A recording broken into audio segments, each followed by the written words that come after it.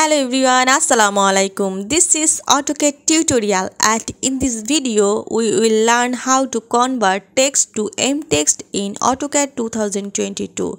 So let's get started. I create two text here. This is single line text and this is multi-line text and in this tutorial we have to learn how to convert text mtext that means single line text to multi-line text. This is multi-line text and I want to convert this one only single line text to multi-line.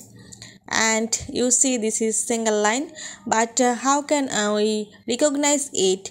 I go to properties menu PR for properties and I select the text and you can see the properties of this text is only text.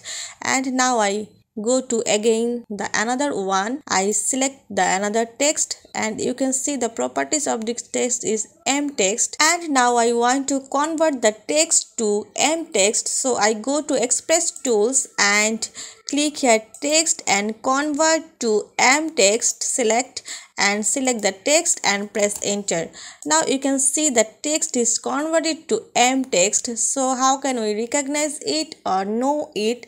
Just i go to the properties menu and select the text and you can see the text is converted to m text. So viewers this is so much easy to convert the text to m text.